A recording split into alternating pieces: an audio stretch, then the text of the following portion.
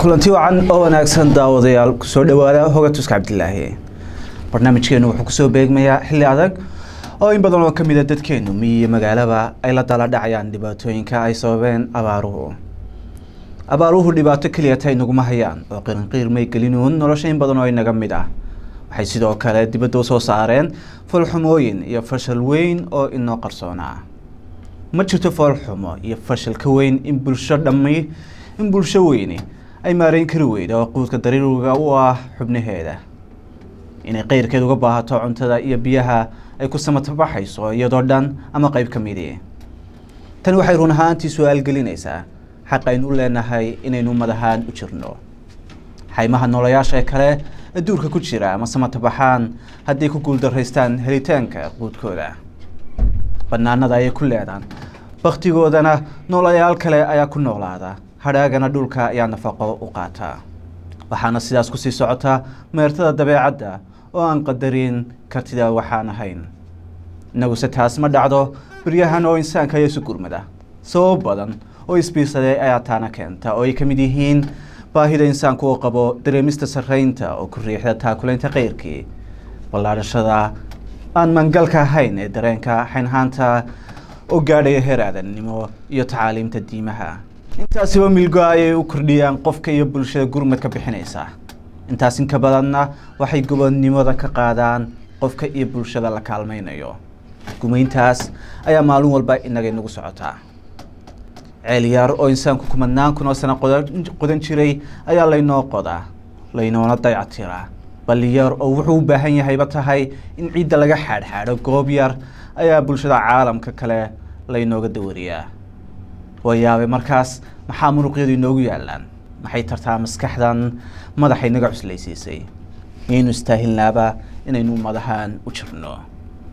Uma dan lihi karbaashkeenna balse waxaan uga socdaa inaynu dhab ahaan isula fahanno baaxadda ay leedahay mushkiladda in haysata iyo macnaheeda. Garashada mushkiladda ayuu ka bilaabmaa xalku dhibaatadeenu maaha abaaraha iyadu waa arrin dabiici ah oo meelo badan oo dunida ka dhacda gobollada qaar adduunka ayaa toban sanoo dhan abaari ka jirtaa waxaana keena asbaab dabiici ah balse mushkiladdu waxa weeyaan. In loo dhinto in loo haraado oo loo darxumoodo dhibicda roobka ee soo daahday. Waa nugeelkeenna xaddhaafka ah. Waa inaynu ka gaabinay xalinta mushkilado farsamo oo la xidhiidha wax soo saarkeenna dhaqaale. Abaaruhu markaas iyo dhibaatooyinka inaga haysta waa natiijada ka dhalatay mushkiladaas waa inaynaan cusboonaysiin oo horumarin hababka aynu u soo saarno cuntadeenna si ula jaan qaadaan baahiyaheena koraya iyo isbeddelka cimilada aynu ka horeyno isbeddelka cimilada oo dhab ahaan gacanteena ka baxsan run ahaantiina sababteeda aynu dembilaawayaal ka nahay balse taasi kama dhigna inaynu mas'uuliyadeenna ahayn inaynu la qabsanno halista ugu weynina waxa weeyaan inaynu mas'uuliyaddaas cid kala saarno inagoo rumaysanayna hoosaasinta laga yaaboba inay niyad samida ku jirto qaar ka mid a dadka reer galbeedka. Waata mar walba aynu maqalnayla. Africa waxay la silcaysaa la silcaysaa cimiladaynu isbedelkeena sababnay ee aynu caawino mas'uuliyad bay naga saarane. Hadal tiradaas ayaa marar badan dadkeenna gasha oo waxaad arkaysaa dad waaweyn oo mas'uuliyiin ah oo isla quman oo ku qaylinaya ummadaha horumaray mas'uuliyaddooda ha ka qaateen dadka ay saamaysay isbeddelka cimiladu waa sidiioo dadkaasi ay la mid yihiin. Mayeedhaanka laga badbaadinayo dabargo-a dadkaas miyaani lahayn dooniis iyo tamar. Aadannimo oo ay isku daberaan kaasi waa isbeddelka cimilada oo sanadahan dambe khalkhal weyn ku riday meertadii wax soo saarka cuntada. Balse markii horeba may fayoobeyn kursinaan laba iyo toban kun oo sano ka hor ayaa aadanuhu kaabadda koowaad ee ilbaxnimada soo fuulay waa markii insaanku dabjoogeeyey xayawaankii iyo dhirtii duurka. Si ugala soo baxo cuntadiisa. Ayna bilaabantay in laga baxo marxaladii reer guuraannimo ee xaymaha dabatada iyo qadhaabsatada la ahaa waxaad moodaa inaynu weli halkaas marayno marka la eego wax soo saarka cuntada. Habka ugu weyn aynu cuntada kula soo baxnaa waa dhaqashada xoolaha oo ku tiirsan daaqsiin furan iyo reer guuraannimo. Markaas waxay nahay bulsho baahiyaheedu joogaan qarnigii koob iyo labaatanaad kartideeda iyo hawkeeda wax soo saarka cuntaduna ku dhagaxoobeen waagii kacdoonkii beeraha ee koobaad waa taas sababta ugu weyn ee saameynta abaaruhu inooda gaadhayso. Maynaan horumarin habkii wax soo saarka. Oo kamaynaan hordegin arrimaha khalkhalgelin kara wax soo saarka. Oo ay ka mid tahay uu ka mid yahay gadgadoonka cimiladu.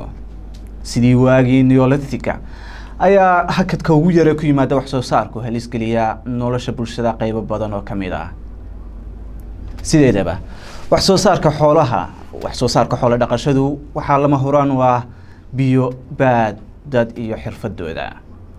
Labada hore ay abaaruhu iminka saameeyeen ee bal ayn dul istaagno sida aynaan u horumarin. Biyaha oo xoolaha iyo dhulkuba u baahan yihiin waxaa ilaa bilowgii lagu tiirsanaan jiray dhibicda roobka.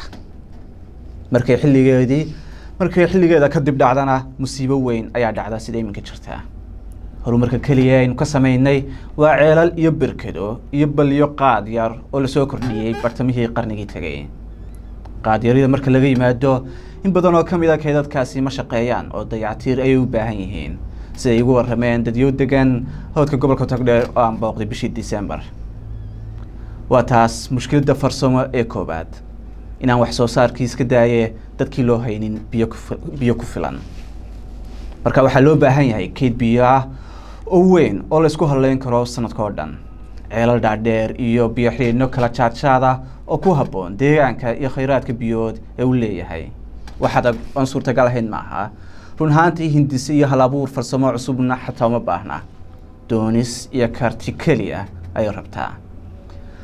Mushkilad farsamo labaad ayaa iyaduna ka taagan maareynta dhuldaaqsimeedkii. Inay dadku heli karaan khayraadkii qarniga koob iyo labaatanaad sida dowlad caafimaad ganacsi iyo xataa gurmad caalami ah ayaa keentay korodh xoogan oo ku yimaada tirada dadka iyo xoolahooda iyadoo ayna waxba iska bedelin hababkii wax saarkoodu hababkii wax soo saarkooda. Waxaa sidaasna isu dheelitirnaantii waxaana sidaasna meesha kaga baxday isu dheelitirnaantii dhulka iyo xoolaha la daaqsiinayo. Nabaad guur iyo hoos u tayada dhul daaqsimeedkii ayayna natiijadu noqotay. Way caddahay markaas inaan hobkii hore shaqaynaynin labadan mushkiladood ee isbarkan ayaa asaas u ah saameynta xaddhaafka ay abaaruhu inagu yeeshaan.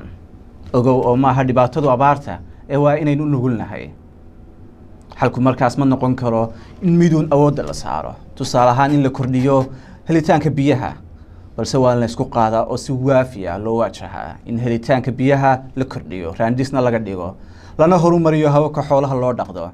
Waa in la soo afjaraba daaqa furan ee xoolaha iyo reer guuraanimada maaha howl lagaga bixi karo inagu kiciyaa iyo qayladhaan laabla kaca dadaal dadaal bartilmaamaysan oo aqoon ku salaysan oo la joogteeyo ayaa nugeelkan lagu soo afjari karaa.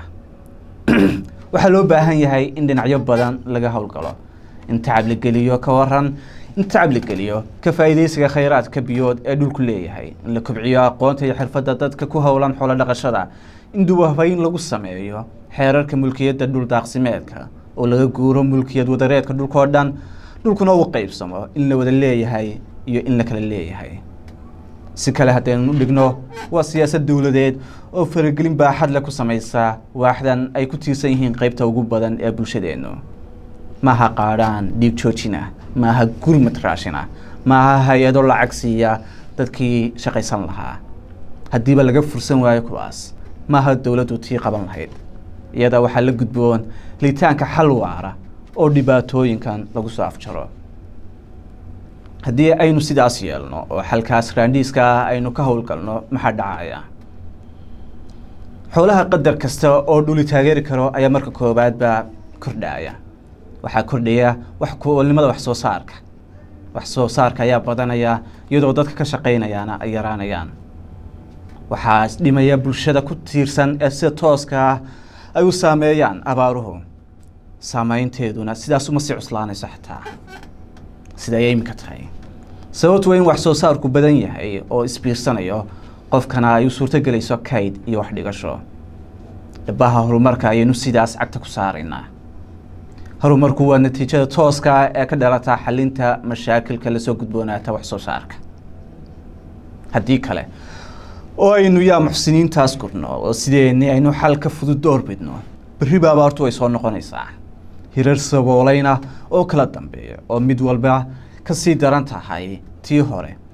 Ayna soo gaadhayso dad sidii hore ka sii jilicsan ayaa isaga keen dambeynaya baroorta tan xigta weeyaan waxaynu sugnaaba marka la eegona habdhaca abaaruha imika soo noqnoqda kolley labada kun iyo toddobiyo labaatanka kama dambeynayso waa haddaanay kaba soo horeynin aada iyo aada bad